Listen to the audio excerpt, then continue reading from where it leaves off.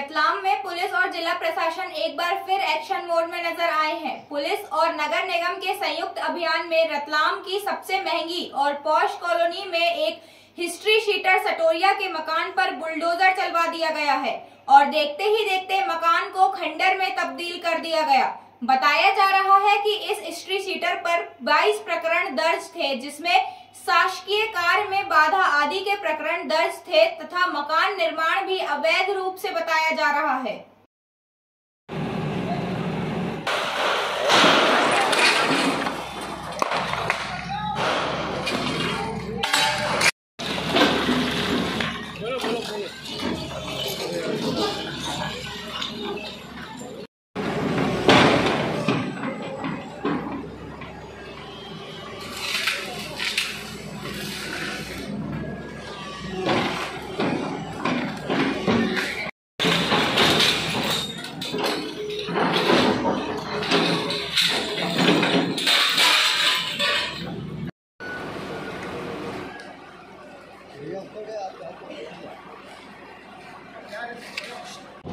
Sir, आज राजबाग में कुछ अतिक्रमण तोड़ने की कार्रवाई की गई है। क्या है बताना इसमें मैं बताना चाहूँगा, ये थाना औद्योगिक क्षेत्र रतलाम अंतर्गत दिलीप पिता कन्हैयालाल मालू हैं।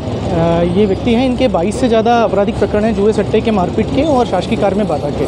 तो आज नगर निगम के द्वारा इसमें जो इनके अवैध निर्माण है बिना अनुमति निर्माण की हटाने की कार्रवाई की गई है जिसमें सहयोगार्थ सुरक्षा पुलिस बल लगाया गया, साथ में लॉ एंड ऑर्डर के लिए एस साहब भी साथ में। तो ये कार्रवाई भी की गई खबरों में बने रहने के लिए ग्रामीण भारत टीवी को सब्सक्राइब कीजिए और बेल आइकॉन दबाना ना भूलें